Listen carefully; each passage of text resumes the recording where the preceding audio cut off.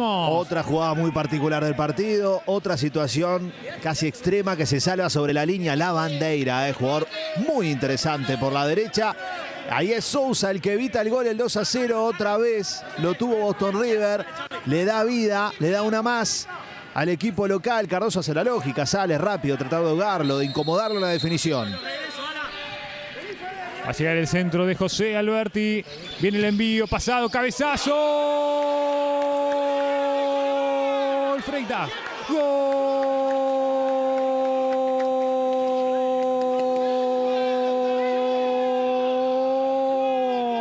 de Boston River. Nicolás Freitas por el segundo piso, por arriba. Ha sufrido toda la tarde. Por arriba, Deportivo Maldonado. Lo aprovecha Freitas. Boston River 2. Deportivo Maldonado 0. Uno sufrió con la presión, el otro sufrió con el juego aéreo. Ha sido así a lo largo de toda la jornada, como decía Viude. Ahora qué prolijito el cabezazo de Freitas, qué lindo, ¿eh? Qué buena la técnica que tuvo en ese cabezazo hacia abajo, con pique, con potencia, bien dirigido, imposible para el arquero, pero cabecea con bastante libertad. Dentro de todas las dificultades, marca en zona Deportivo Maldonado, le ha costado un montón la pelota quieta. Los dos goles vinieron por ahí, una diferencia inexplicable, ¿no? Viude, de dos goles a favor del equipo de Iturrales, pero el fútbol es así.